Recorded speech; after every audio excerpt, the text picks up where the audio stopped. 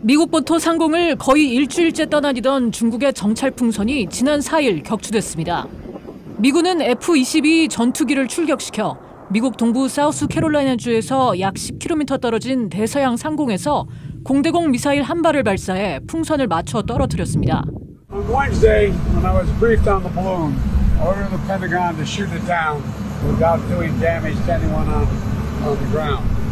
They decided that the best time to do that was we got over water. They successfully took it down, and I want to compliment our aviators who did it. 풍선 잔해는 바다로 떨어져 해군이 수거에 나섰습니다. 로이드 오스틴 미국 국방장관은 성명을 통해 중국의 용납할 수 없는 주권 침해에 효과적으로 대응한 것이라고 강조했습니다. 중국은 미국이 과잉 대응했다며 반발했습니다. 中方是负责任的国家，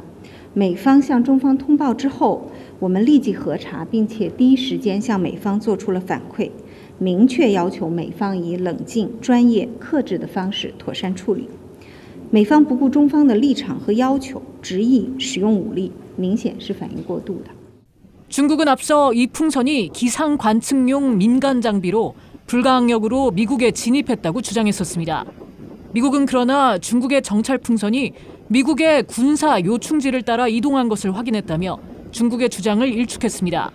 Well, if anyone was doing the scuppering, it was the people who sent the balloon into American airspace. I mean, you, that's that's an illegal act. I mean, that's a that's this is U.S. territorial airspace. The Chinese brought down an EP-3, an American reconnaissance aircraft, actually outside of Chinese territorial airspace 20 or so years ago.